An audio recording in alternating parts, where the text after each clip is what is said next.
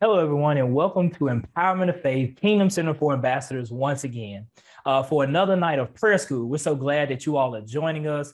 Uh, and again, hope this word really encourages you not only to study, but to just really dive deeper into the word when it comes to prayer. Because here in Empowerment of Faith, yes, we are connected to uh, the original, getting connected to the original scriptures, the Hebrew roots. Uh, we're here to live by the kingdom, the Father's original design, but we're also a word based ministry. And so, what that means is that every idea or the precepts that we're getting is not a part of a religion, it's not a part of some man's doctrine, but we're going to the original scriptures and getting the ideas.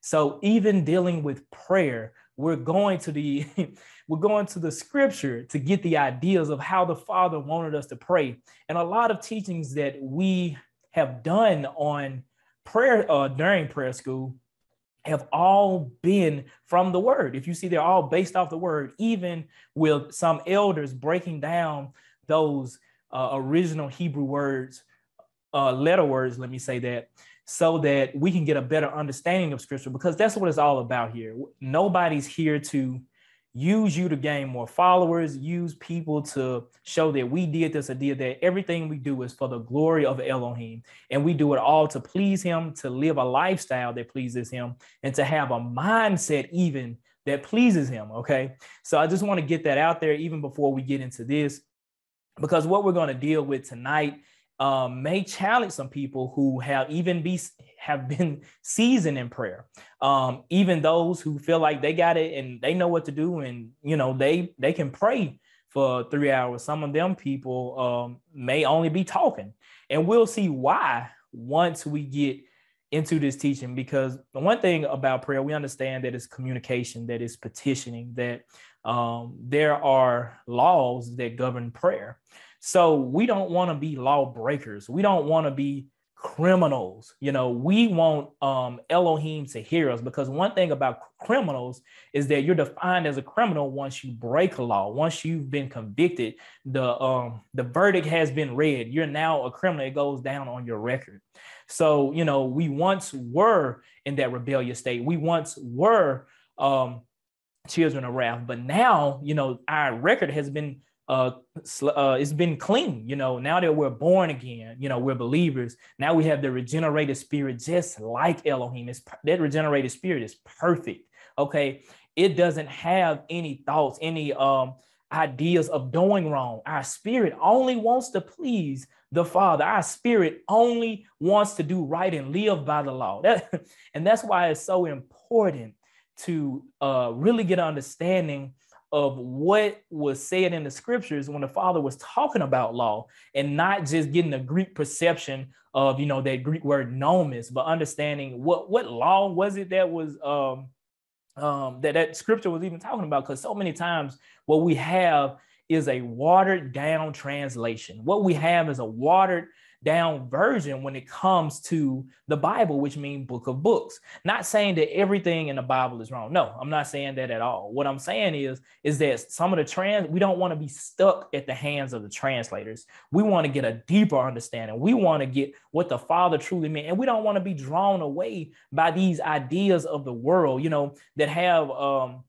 these other religions out here that want us to believe uh, other than what the word says. So when we are totally sold out for the word, we're totally living for the word, we're totally giving ourselves um, to that word, to that law, then you know it makes it easy for us to live by the kingdom mandate because that you know the Elohim's um, kingdom mandate tells us that we have dominion.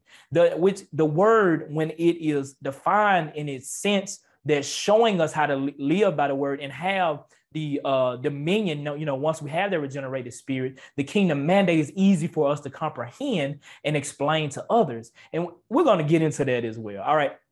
So without further ado, let, let me go ahead and bring up what I'm going to be teaching on tonight. Um, uh, and it's going to be, like I said, it, it's prayer school, his will.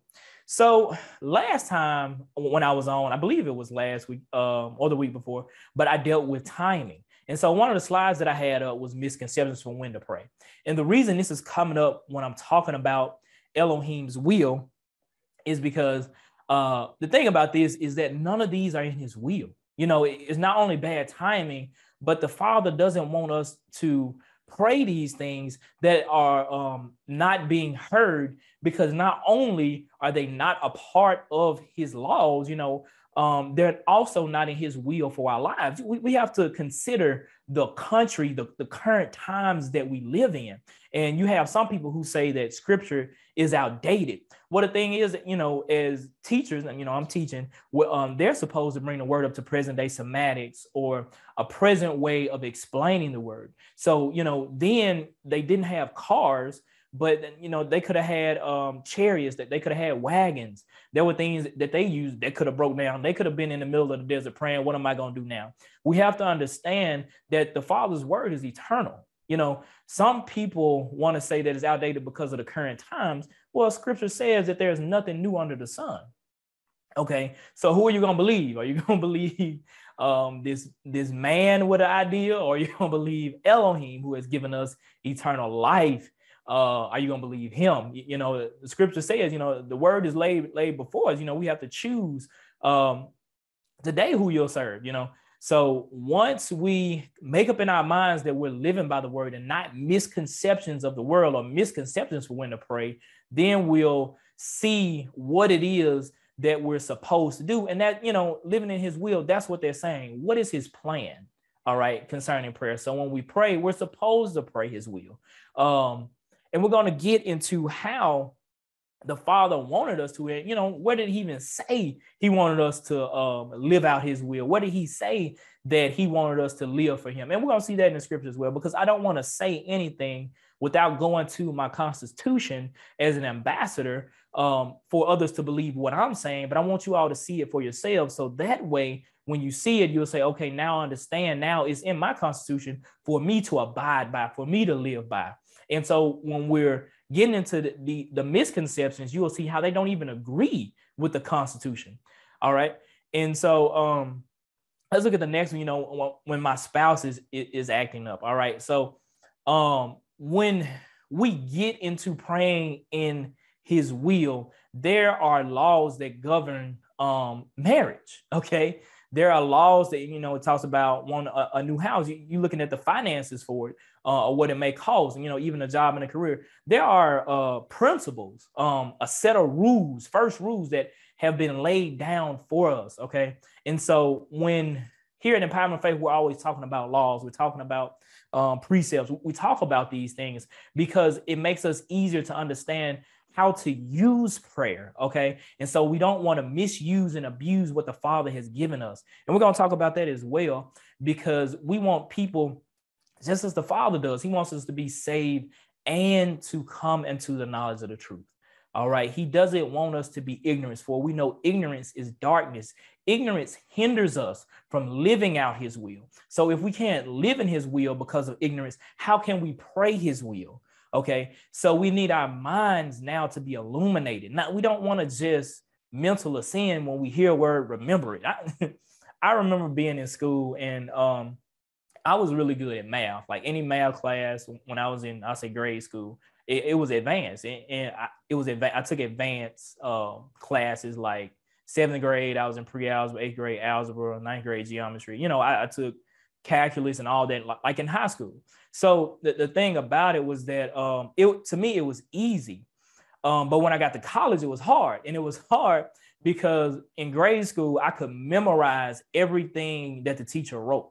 So I was able to uh, sit down and everything that she wrote, I memorized and I would just plug in my mind. I would literally sit there and just plug in different numbers. And that's how I work out the equations. It hindered me when I got to college because I actually never learned it. I memorized it. Okay. And so, because um, I never learned how to use the uh, equations or when to use them or the functions or use the theorems, because I never learned any of that, I couldn't apply to real situations that we were, you know, doing in, in, in college. So, um, the information here, we don't want people to memorize what we're saying. We don't want you to have just knowledge. We want you to have an understanding. We want you to have wisdom. So that's why illumination has to take place. And that only works with the help of the Holy Spirit. Okay. And so the knowledge that you're getting here, uh, you're supposed to take and use it and sit down and apply the precepts, excuse me, so that you can learn for yourself and be um, not only a better, uh, what should I say, a better son or heir when it comes to the kingdom, but a better ambassador. You'll be a better representative. Okay. And so getting back to these misconceptions, when we hold, when we're holding on to these misconceptions, we're hindering ourselves from living out the Father's will. Okay. And so the Father had actually gave us a way to pray. Okay. And we'll see that, excuse me, in this next one when, uh, let me see, there it is. When, uh, in the apostles' prayer, it is not the Lord's prayer. I know people say, you know, it, it says the Lord's prayer. It's not. It's the apostles' prayer because here Yeshua was speaking to the um the apostles. All right. Uh, in Matthew, Matthew 6 and 9 through 13, excuse me, it says, Our Father in heaven, hallowed be your name.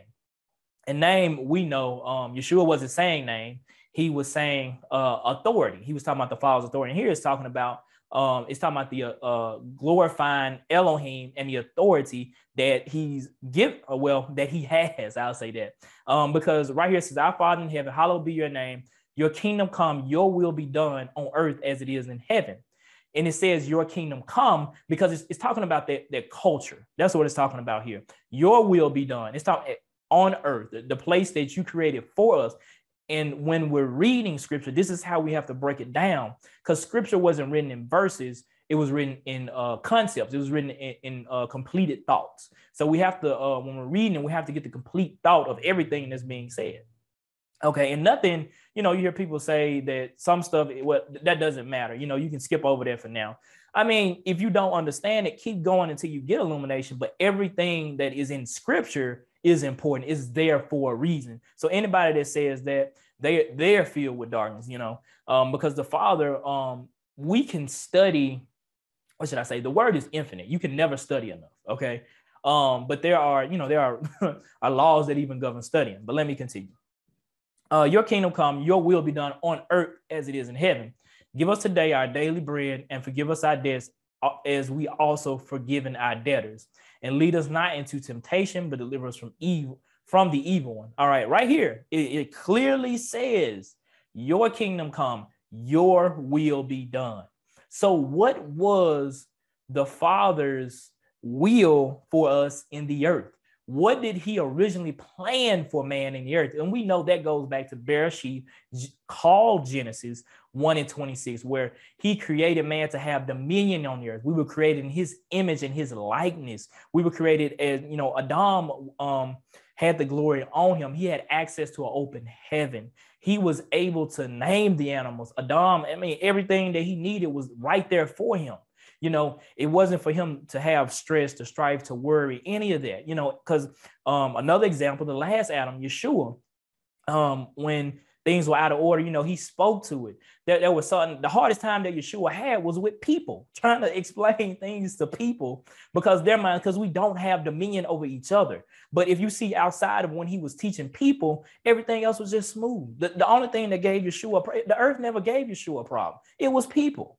All right. And so we have to have the idea or the mindset that when we're living out of his will, we're living in that dominion that he gave us. Okay. And now that we have this idea, I'm getting kind of ahead of myself now, but now that we have this idea, we know what to pray. Okay. Um, because uh, I really got to get to the end of, of this to explain it more. But we we see here that the father does have a will or plan for our lives okay is not just by happenstance that we are here okay so what is it that's dragging people away what is it that's messing people up you know a lot of the misconceptions i talk about a lot of it is coming from see if i can show you here it's coming from religious doctrine okay uh religious doctrine uh, or religion it misuses the word y'all you know I got this example here. You know, uh, the Lord giveth, the Lord take it away. Blessed be the name of the Lord. You know,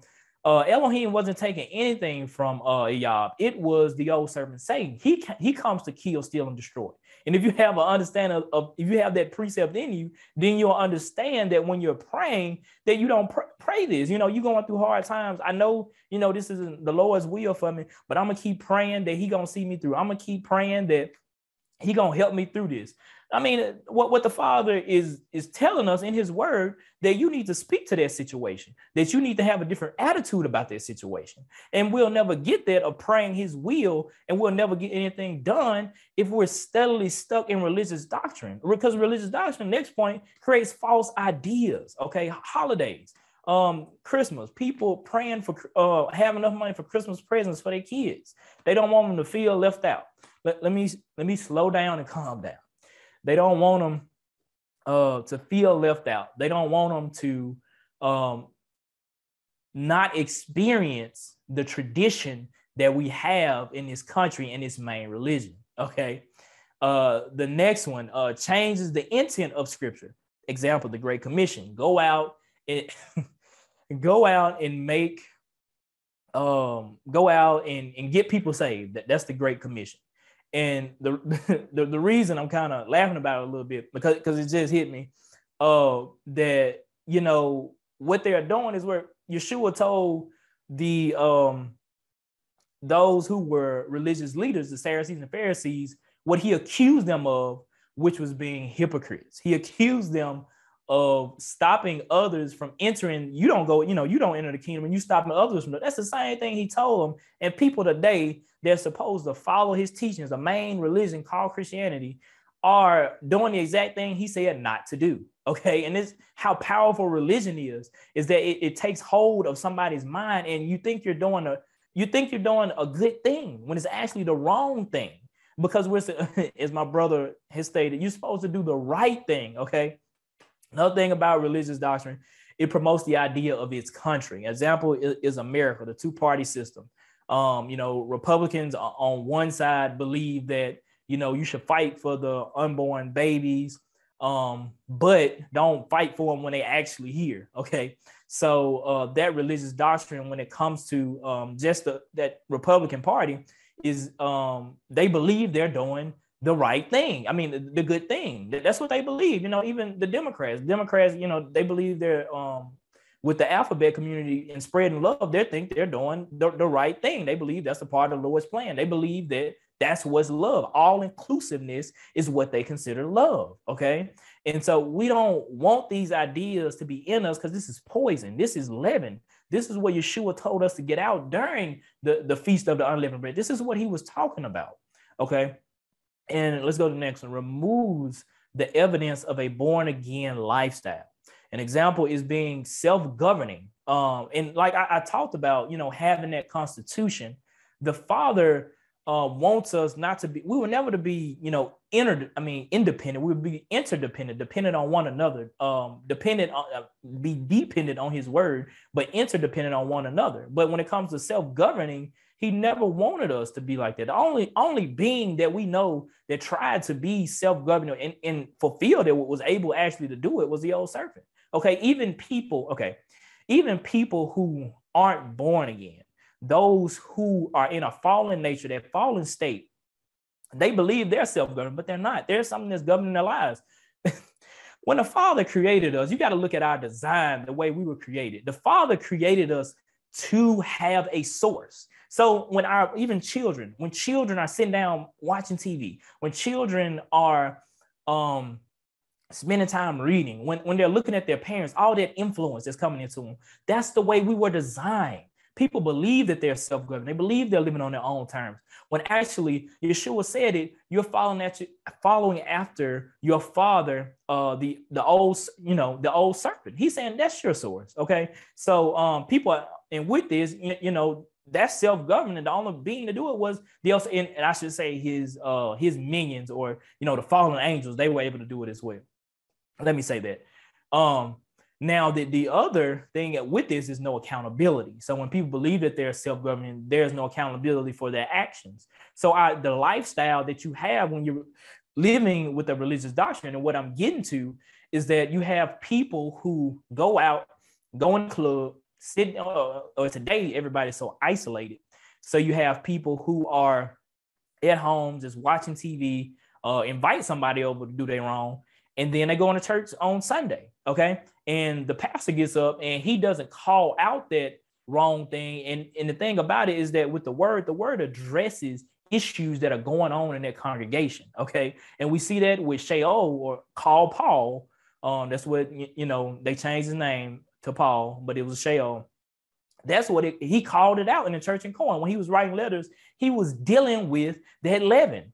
Um, and, and the thing about it is that um I'll say this Shaul kept the feast days. So, you know, throwing that in there for those who talk about, you know, there's nothing wrong with holidays, it helps. Well, we're dealing with it now. It creates this religion doctrine that separates you from the will of the Father. And so all, all this has to do with prayer. Okay. All of it has to do with prayer because we have to deal with these ideas. And once we get the right idea, as I've said before, then when it comes to praying, it um it, it's like when you're um trying to I know we've used the term of, of a sniper and a dart, but it's it's also like when you're trying to um, chop down a tree. You know, if you're trying to chop down a tree with a bat, it's not going to work. That's not what the bat was designed for. You know, what was prayer designed for? How was prayer meant to be used? A bat was meant to be used to hit a baseball. When, when I'm trying to chop down a tree, I need to get an axe. In order to get the axe, I have to know the original design and purpose of that axe so I know how to use it too many people are falling victim to the religious uh, doctrine in their lives, and they're and they're out there trying to swing a bat um, to chop down a tree, and it's not working. All right, and let me, calm down again. Okay, so um, takes uh, on and adapts new ideas. This is what uh, religious doctrine does, and this is like I said, this is why this is dangerous progressive Christianity. So um, everything that's going on in the world, what we have today is a lot of um, people who, and the reason I say progressive Christianity is because you have uh, those who are constantly adapting new ideas. And I should have had progressive Judaism because they're steadily creating new laws too. Um, that they keep adding these laws um, to Judaism. All right, but um, the reason I say Christianity because that's the one that's the one religion I know more about. Okay, and so um, when, when, when Christians are taking on these new ideas and accepting them as their own, again, they believe that is love. And because they've separated from their father's original idea of what love actually means, what they're now doing is actually living in rebellion um, to what the father uh, actually wants, you know, his original plan, design, and purpose for man. And so, therefore, now these uh, Christians when they pray, you know, they can't get anything done because the very word that they're stating is not in the Constitution. All right. What you're saying that, does not agree. So when we're praying his will, we have to know his will outside of religious doctrine. And the, the way that we get to do that, we have to get to the unadulterated, unfiltered um, word. And I'm wrapping it up here. Elohim and his word are one. And like I said before, I'm not stating anything. I'm not stating my opinions. I'm not stating what I think or what what I believe, but I believe what the word says. So in Yochanan, John, call John 10 and 30, I am my father one. And this is Yeshua talking. And Yochanan, John 17 and 11, and I am no more in the world, but these are in the world, and I come to you. Um, this is set apart, Father. It's talking about holy. Um, excuse me one second. Guard them in your name, which you have given me, so that they might be one as we are. And this is Yeshua talking about him and the Father are one again. So the Father and his word are one. The Father's word is law. The Father, um, when it comes to the word, what Yeshua is saying here is that we cannot accept Elohim without his word. And that's what so many people are doing because in order to get his will, and um, Elder Octavian did a, a, really good teaching, all his all for his glory. I believe it's on YouTube. Go check it out.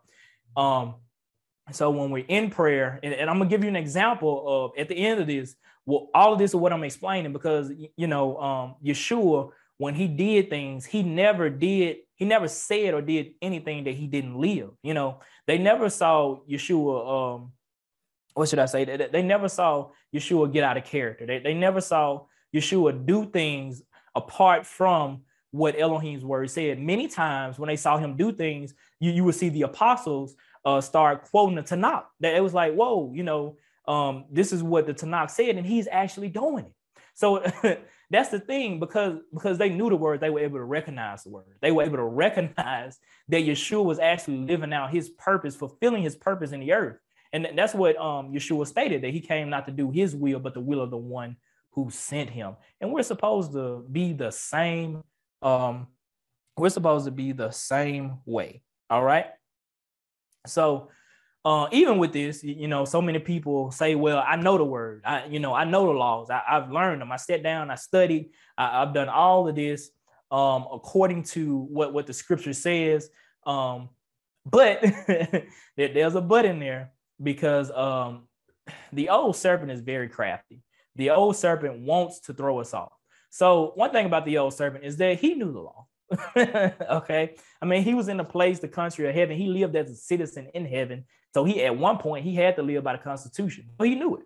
All right. So the thing is, is that even with religious doctrine, like I said, religious doctrine tries to, um, uh, what should I mix the the secular or the world and uh, Elohim's law, and you can't do that. You know, you, you can't have two kingdoms.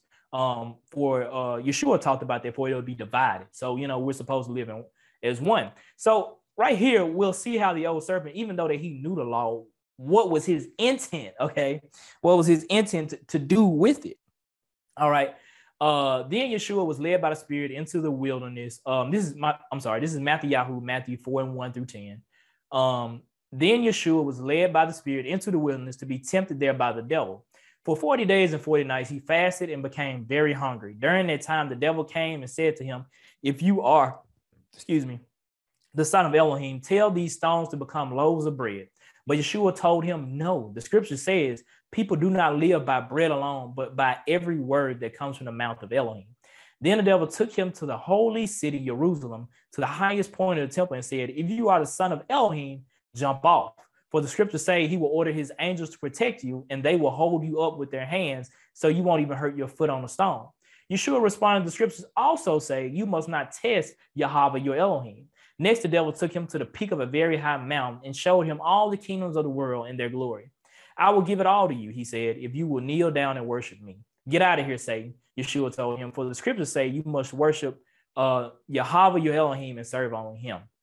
All right, so here we see how the old serpent tried to misuse the word. We see here how the old serpent tried to misconstrue the law. He's like a um here he's like a, a really bad um per uh, see the old serpent acts like in here is almost like a um someone who is in court who knows the law but is trying to misuse it to actually break it. So it, it's like a, a mischievous lawyer in, in a sense. Okay.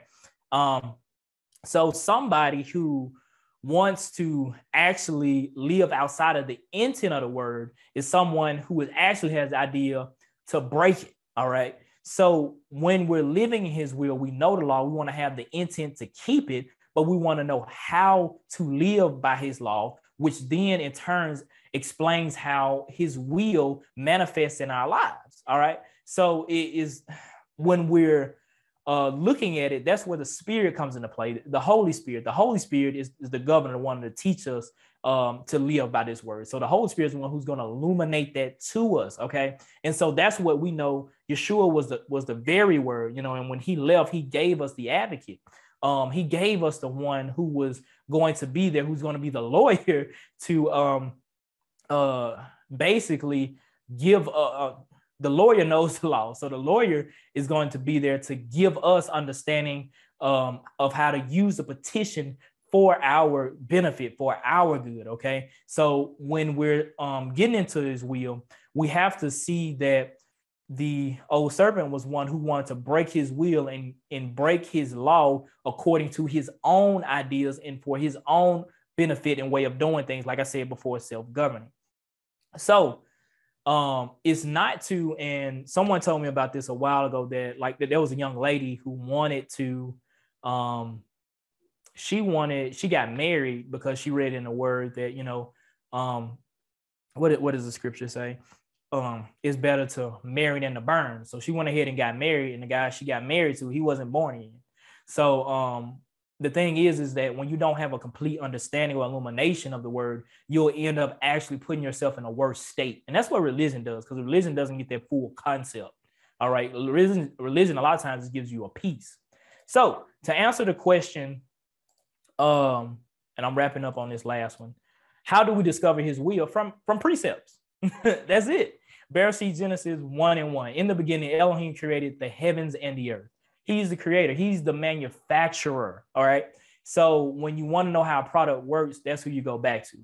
Uh, the plan for everything um, the Elohim has is in His Word. So, example, I'm dealing here with uh, Adam and uh, Mas Negad, or or man and woman. Uh, Bereshit Genesis 2 and 15. What was His plan for a man? Uh, and I'll make this point and then I'll end it here. Yahweh Elohim took the man and put him in the Garden of Eden to work it and to take care of it. So um, another translation says to um, work it into to, uh, to tend and to keep it. So when you look at that word tend, it is dealing with the uh, abad. He gave man a vision. And so when he gave him that vision, uh, what Adam was supposed to do was to take heaven um, or take earth, I'm sorry, because he made him delegated king in the earth, take earth and make it just like heaven. That's what Adam was supposed to do. He gave him a, a vision to cultivate the earth. That's what um, Elohim's original plan for man was. So when I go in prayer, what I'm saying is that, Father, the vision that you have given me in life to to work to to do the, the vision that um, I'm supposed to use to take that place that country um, of heaven its culture and live it out on the earth Father, show me how to do that through your word. Now I'm praying his will. Uh, if you want to get more specific, if um in an area like dealing with marriage, Father, I know that as a man that um I'm the father husband that you gave me the source. Help me to use the influence that you originally gave me as a man as a source, being in your image and likeness that I can use for my family and they can draw from me. Now you're praying in his will. All right. I hope this blessed you all. Um, please like and share the video. Um, uh, please go on and subscribe to our YouTube channel if you haven't already. Uh, and shalom. Empowerment of Faith Kingdom Center for Ambassadors is excited to announce our prayer school. Join us every Tuesday night at 7 p.m. Central for a power packed teaching on prayer, followed by corporate prayer. Our school will teach keys and principles of prayer that will strengthen and improve your personal prayer life. We will stream on Facebook, Instagram, and YouTube. If you'd like to join us for prayer school or submit a prayer request, email us at eofkcprayer at gmail.com or text us at 901 206 3220. We hope you'll join us.